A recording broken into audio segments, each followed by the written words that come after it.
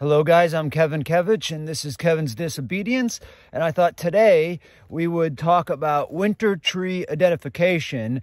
And that's mostly going to be talking about bark and how to determine the difference between the hardwoods based on the bark alone. Though there are a few other tricks you can use that will help you determine what uh, you're looking at if you're unsure that is not merely about the bark. So let's dig in, shall we?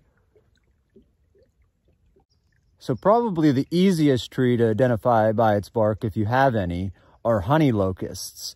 Um, not all locusts carry these gnarly thorns, but honey locusts do, and you won't mistake it for any other tree. So honey locust aside, I think you should start with black walnut and black cherry because the color stands out in the woods so easily. Walnut is another one, especially in mature forms. It's easy for young kids to identify or for beginners because it has a really pronounced brownish gray bark. Almost looks like armor all the way up. So at first you might think that walnut looks like cherry, but it just doesn't look anything like it in person walnut, especially when mature, has these really distinct, almost block-like armor uh, on the bark. And cherry is much more narrow. Let me show you. So you see how thick the walnut is? I mean, this is a good two inches thick.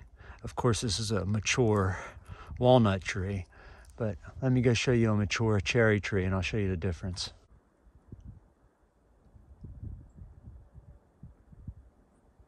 Here's a mature cherry, even bigger than that walnut. And you can see that the uh, bark isn't nearly as deep, you know, maybe an inch. And this is really mature. Um, just a different bark.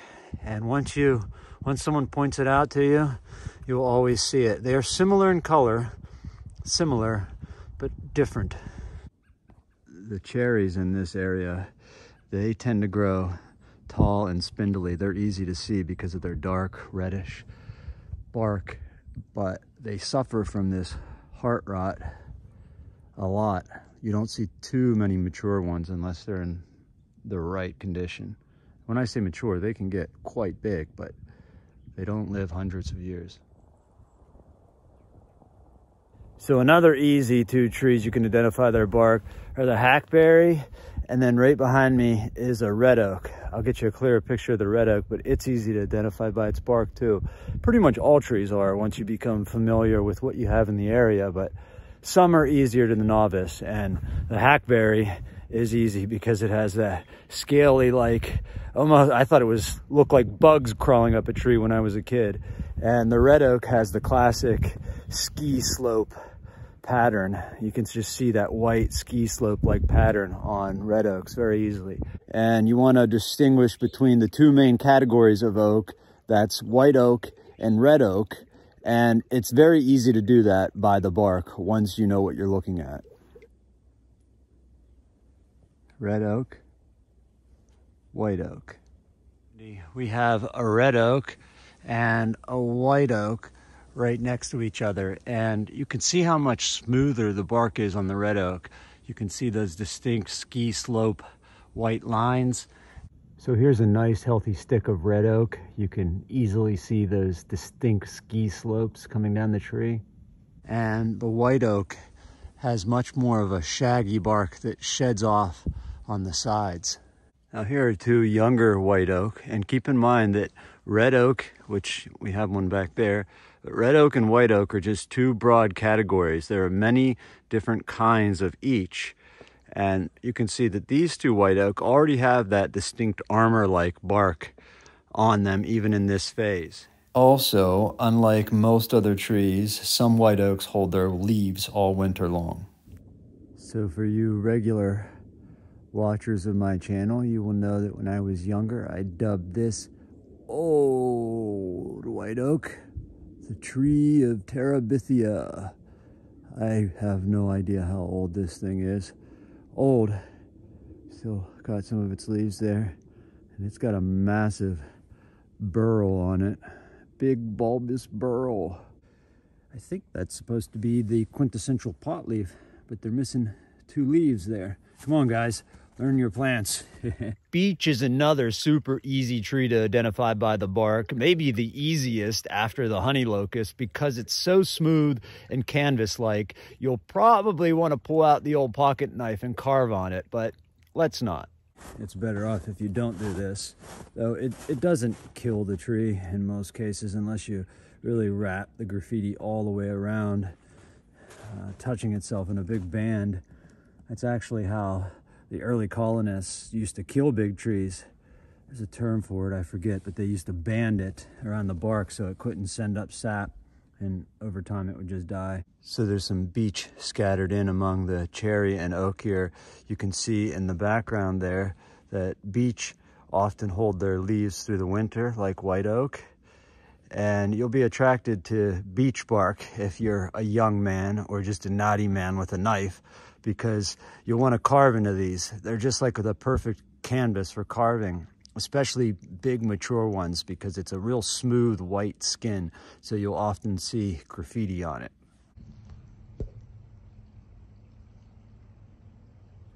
I don't have a lot of these on my place. This is on my cousin's place.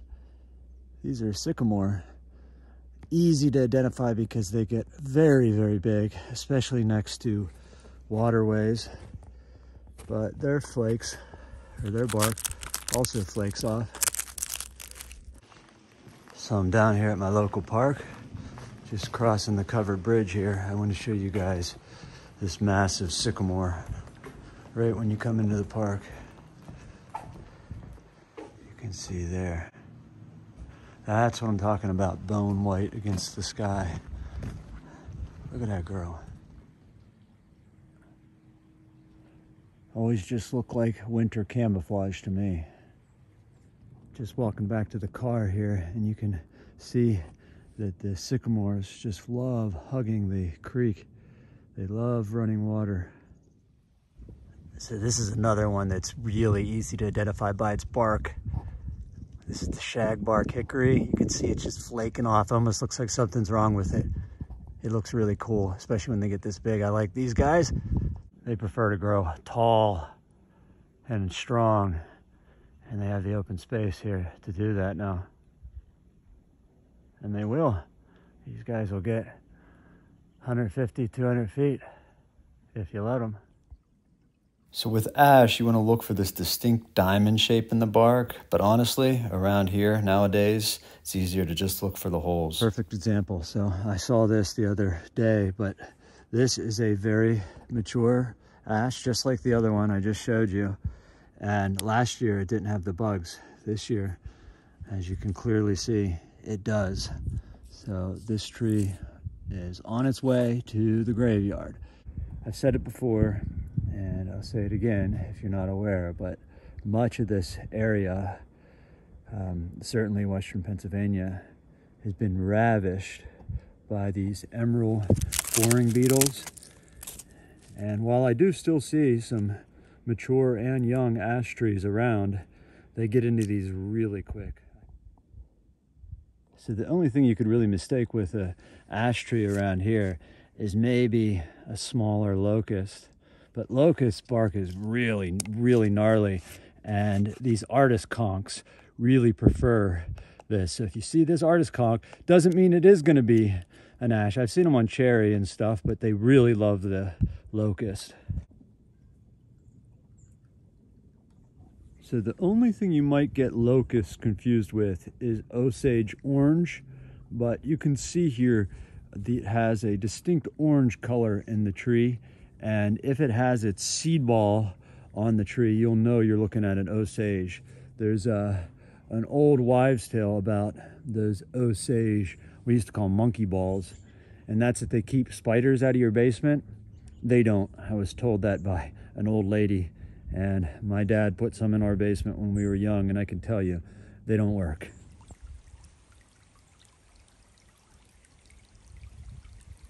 So elm can be a little tricky at first, especially because of the Dutch elm disease. Elms are no longer the great dooryard trees of our ancestors. Both elms and chestnuts used to be abundant in the forest scape, but they're only present in small examples. But there are two really easy ways that I use to determine whether it, you're looking at an elm or not. I'll share those with you right now.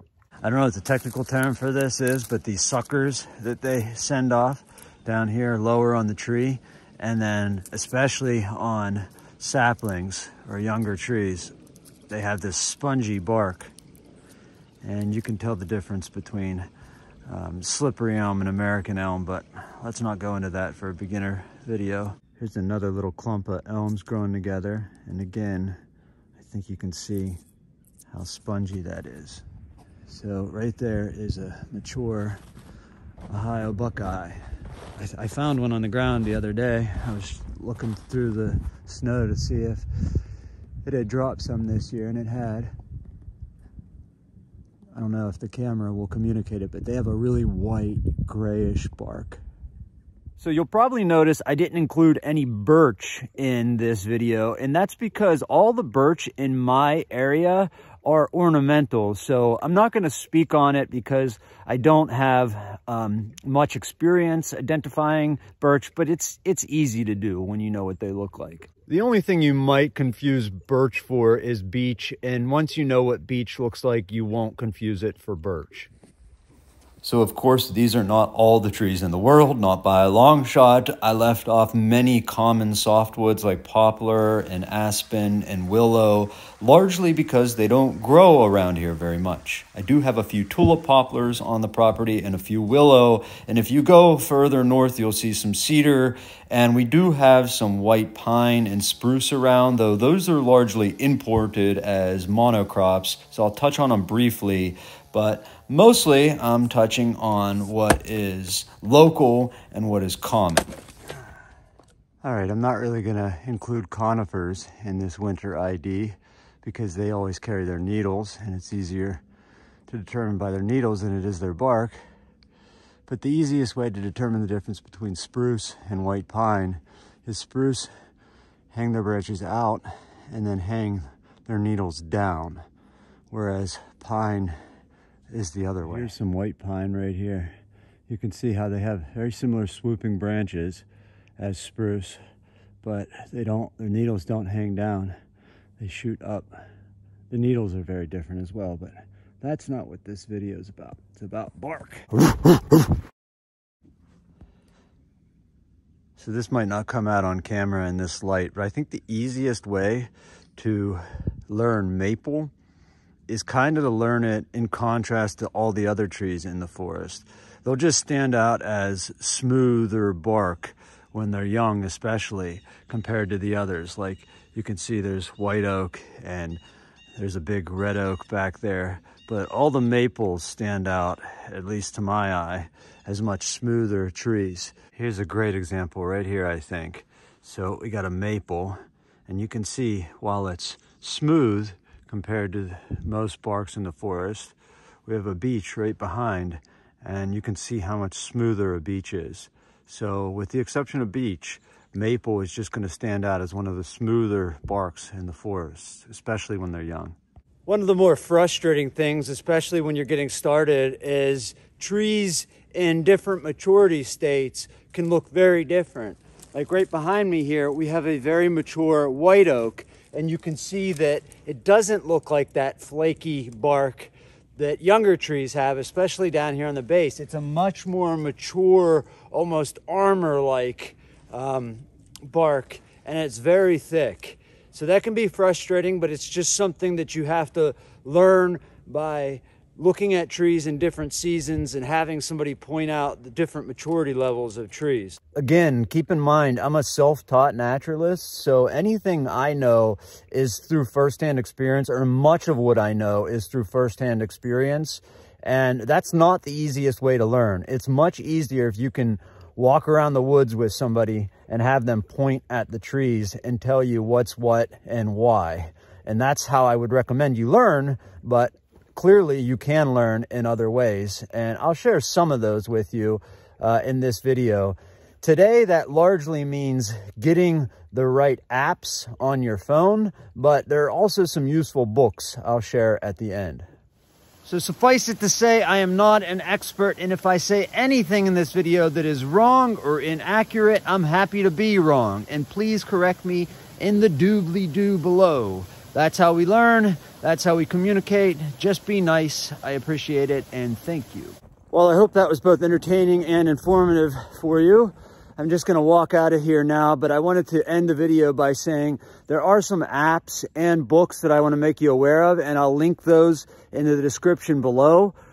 But generally speaking, you want books that are on whatever it is you're trying to identify, in this case, trees or mushrooms or plants, on as close to your area as you can get. So the more specific to your location, the better the book's going to be. And I got a great one if you live in Pennsylvania. This guy has dedicated his life to knowing the trees and you can really geek out on everything there is to know about every tree and every um, species in that or in that genus.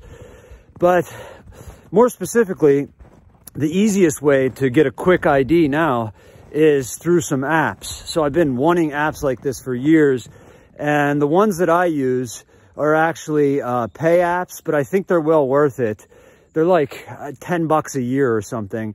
Um, and that's Picture This, which is your general plan ID.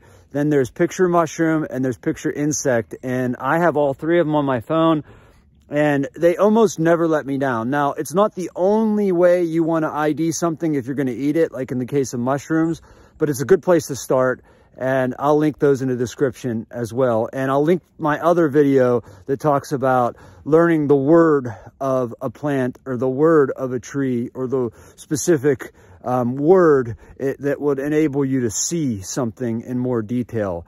And that didn't get as much attention as I had hoped. I was doing a silly little thing with the um, this scanner darkly filter, which I thought was cool, but probably a mistake. Anyway, guys, hope you enjoyed it. I'll see you on the next one. Stay safe, get outside.